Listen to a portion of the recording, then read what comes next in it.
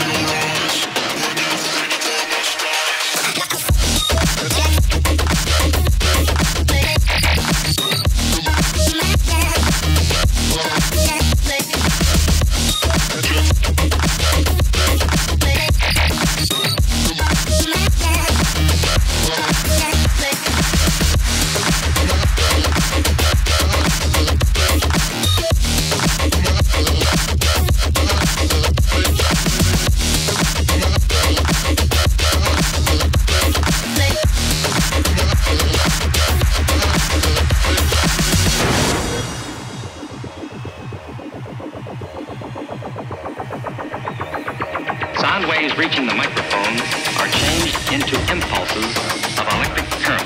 No need to worry about your pre-recorded music tapes being accidentally erased. It can't happen. Well.